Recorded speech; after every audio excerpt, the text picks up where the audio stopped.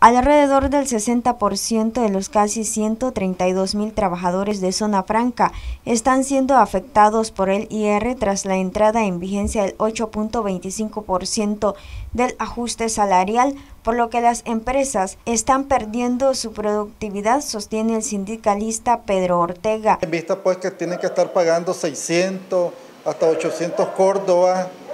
mensuales eh, en impuestos en vista pues que ya sobrepasan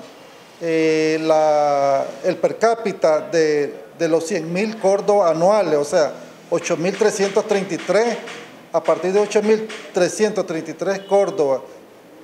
sobrepasando ya empiezan a pagar el 10% del IR. Eso se miran afectados también empresas en vista que ya los trabajadores ya no quieren trabajar hora extra, porque si ellos dicen, si yo trabajo hora extra,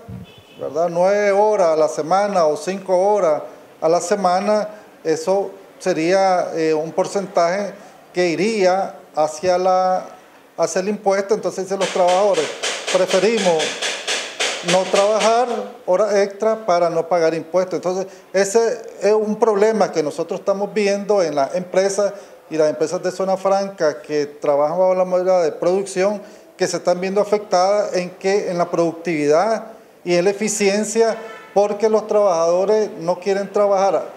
eh, horas extra pues en vista por el impuesto sobre la renta. El dirigente agrega que este año van a continuar solicitando se reforme la ley de concertación tributaria. Entonces, ante esta situación, ¿verdad? Nosotros vamos a presentar también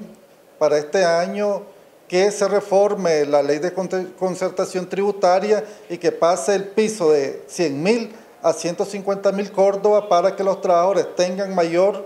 eh, poder de compra, también estimular la producción, que las empresas continúen laborando y también horas extras donde se requieran y de esa forma afectar el bolsillo de la clase trabajadora porque no puede, podemos seguir la clase trabajadora pagando los costos, ¿verdad? Eh, y pagando más impuestos, donde los trabajadores lo que requieren es tener mayor eh, poder adquisitivo para generar también mayor